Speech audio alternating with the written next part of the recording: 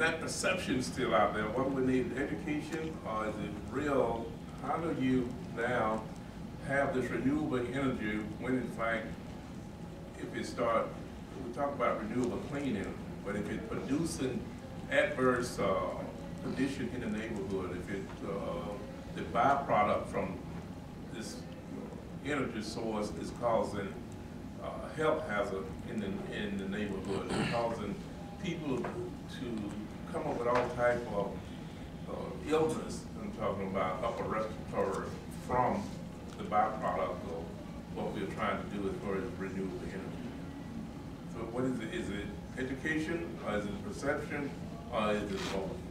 And I want to ask both, um, both of you if you could respond to that, but also to say that the very next panel after we finish with this Q and A is going to talk about that very uh, set of issues and that dimension of, of the conversation.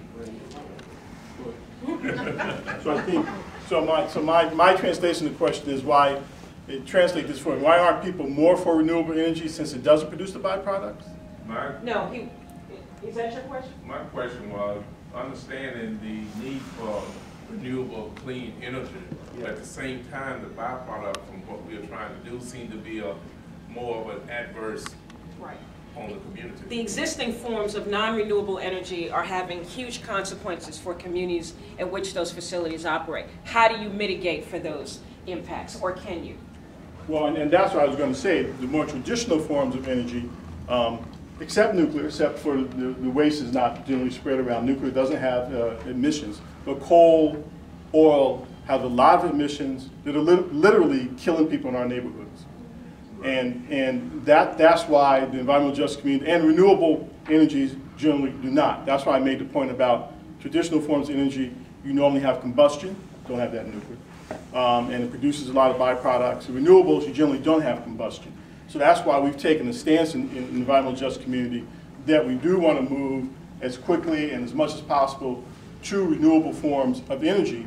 And the way we do put that in context, and I think Cecil and, and Bernice will be talking about later, is um, from the EJ point of view, largely uh, because of the health benefits that the traditional forms of energy are making our, our, our, our folks sick and killing people, and we can move to renewable energies, um, uh, we'll have healthier communities, physically healthier communities, and also, in, in, along with that though, we think it, it gives us a chance to, to the, the traditional energies have been, uh, have been integrated in our society in such a way as that it creates inequality, perpetuates inequalities, and we hope that with, uh, if we get in right in the, in the, on the bottom of the renewable energy right at the outset, that not only will produce healthier communities, but economically we can do it such a way that we won't perpetuate the inequalities in our society.